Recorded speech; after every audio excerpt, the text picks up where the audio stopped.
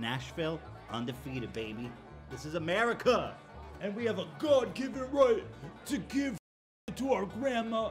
And even if that old dies, I'll have at least had a good night because Nashville is undefeated.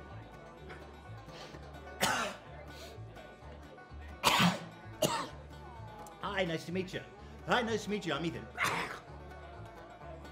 So Ethan Klein of H3H3 Productions just released a video discussing all the people out there who are refusing to self-quarantine. But the way he went about it isn't so effective. So if you were like me and you're hoping to slow down the spread of this thing, we need to understand a little bit of psychology and get into their minds and figure out productive ways to get people to stop running around in public. So come along with me and we're gonna get inside the mind of people who refuse to self-quarantine.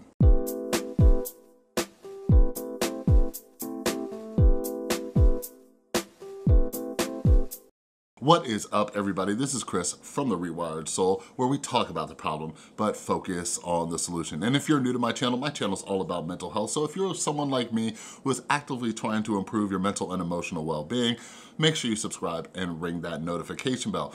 Because when it comes to this type of crisis going on or other situations going on in your life, there is a right way and a wrong way to talk to people if you hope to motivate them to do something all right? So Ethan Klein just came out with his uh, video on the H3, H3 Productions, the main channel, which he barely uploads to anymore, and it's called The Morons of the Situation. I'm trying to stay monetized, so bear with me as I dance around certain words, all right? And he goes through and he shows a lot of clips and pictures and things like that, um, and he's not wrong.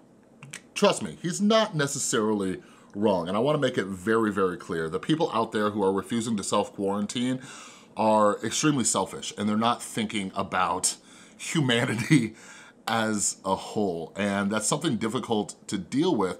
But I just wanna put it this way. When we're trying to figure out how to talk to people about this stuff and get them to make the right decisions, like I just want you to switch roles real quick and ask yourself, When's the last time that you wanted to do something when someone called you a moron or an idiot or insulted your intelligence in another way? You probably didn't want to. So by understanding a little bit of psychology and getting into their minds, maybe we could figure out how to encourage people to do the right thing. And I really think, I really think that the government would do much better if not only did we bring in more scientists, but we brought in more psychologists to explain a little bit of human nature, okay? So we're gonna break this down into a few parts, but the first thing that we need to talk about is human agency, all right? Agency is one of the most important factors of our lives. So what, what is human agency, okay? So Human agency is the capacity for human beings to make choices and to impose those choices on the world. It is normally contrasted to natural forces, which are causes involving only unthinking, deterministic processes. So in this world of just so much chaos and so many things outside of our control, we crave that control. And this agency, this control, greatly affects our mental health. So in the best-selling book, Lost Connections by Johann Hari, which is one of my favorite, favorite, favorite books on depression, he discusses some studies they did about people being depressed at work, okay? The people who are the most depressed at work have little to no control over their jobs, all right? You might recognize this. If you are miserable at your job, take a second to think, like how much control do you have over your job? Some people are just doing this tedious, monotonous work day in and day out, and they have no control, no creativity over the work that they produce right? Then there are also people who just have a boss who does not let them, you know, try to express new ideas and be creative. These people are typically miserable. For example, I love my job. I get to be very creative and all that. And a quick tip, for those of you who do not have that kind of control or creativity in your job, do something on the side, all right? Have your own hobbies where you get to be creative. Like, if nothing else, I have my YouTube channel, I have my writing, and all that other stuff. So find a way to be creative. You will be a little bit happier because we all crave control. The next thing we need to talk about is internal versus external locus of control. So, professor of positive psychology over at Harvard University with all them smart people, all right, his name is Shawn Achor and he released a book called The Happiness Advantage. In this book, he talks about internal versus external locus of control. People with an external locus of control, they believe that their actions have little impact on outcomes all right? These people are more anxious, more depressed, overall not very happy with their life. Then you have people with an internal locus of control.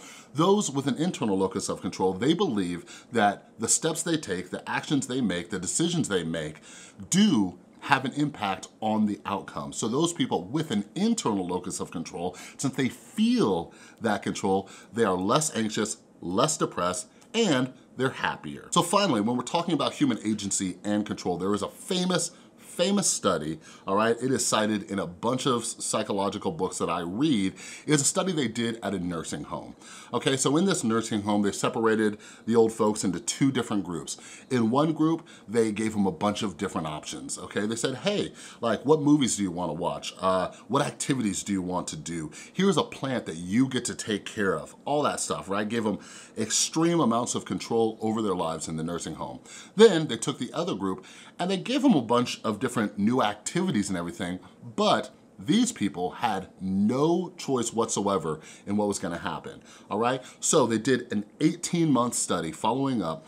Not only were the people in the first group happier and healthier, but they lived longer. In the group that had less control, those people were sadder, sicker, and they had a higher mortality rate, okay? So think about that for a second. Our sense of agency is directly related to not only our mental health, but our physical health as well, all right? So remember I was telling you like, when's the last time that you wanted to do anything when someone called you an idiot or a moron? So now we're gonna talk about the psychology of reactance. We need to understand that we are naturally inclined to do the opposite of what other people tell us, all right? As a way to maintain that control, that agency, we don't like being told what to do, all right? So as you can see in this figure, this is a little bit of what it looks like, all right? So our importance of freedom, the magnitude of the threat to that freedom, that creates this strong reactance, okay?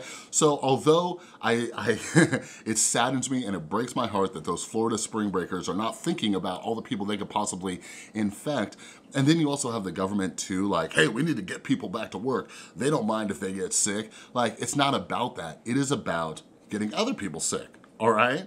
So here's the thing.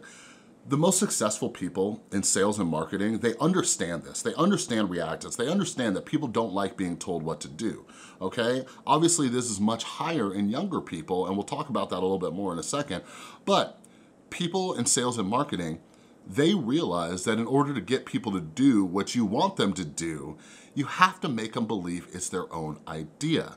That is how you get past the reaction, all right? So although Ethan Klein of H3H3 Productions had a couple yucks in his video. I would say that she was joking, but if you look closely at her face, she does not crack a smile. This woman is ready for what are the kids calling it? The boomer doomer? The boomer groomer?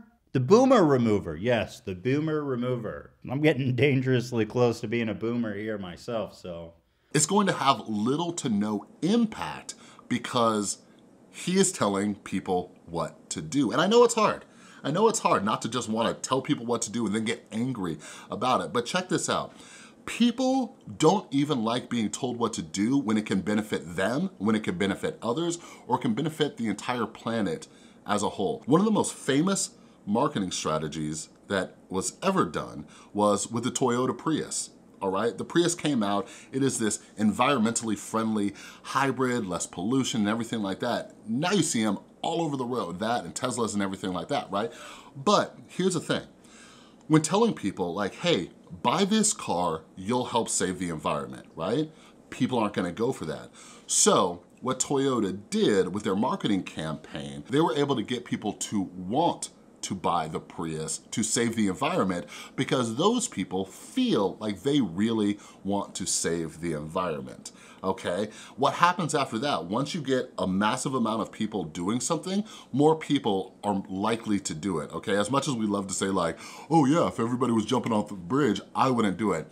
Most of us would. A lot of us follow suit because we don't wanna be seen as outside of the tribe, okay? So think about that for a second. How do we get people to do what we want to do, right? But how do we make them feel like it's their own idea? So one of the other most successful campaigns out there was when it came to uh, uh, an anti-smoking campaign for teenagers, okay? So the, the rate of teens smoking is high, especially with vaping coming out. Um, but in the 90s, it was really, really bad. So this dude, Chuck Wolfe, came along, all right? And he saw that just telling kids not to smoke wasn't working because again, high reactance in younger people. Younger people really don't want to be told what to do, okay? One of my favorite uh, neuroscientists, Dr. Dan Siegel, he talks about that. During that portion of brain development, teens are trying to distance themselves away from adults just because they're naturally trying to become their own person, to become more individual. So what was Chuck Wolfe gonna do? The first thing that he did was he held a teen tobacco summit, all right? He talked to teens and, and he asked them questions. He said, why do you guys smoke? Why wouldn't you smoke? You know, he asked them a bunch of questions and got a bunch of input. So he took that and he combined that with the psychology of reactance and he started to ask himself, how can we get teens to not smoke when they don't like being told what to do? So here's what tricky little Chuck did. What Chuck ended up doing was he created um, a bunch of different ads where one of them, for example, was two teens calling up a magazine publisher.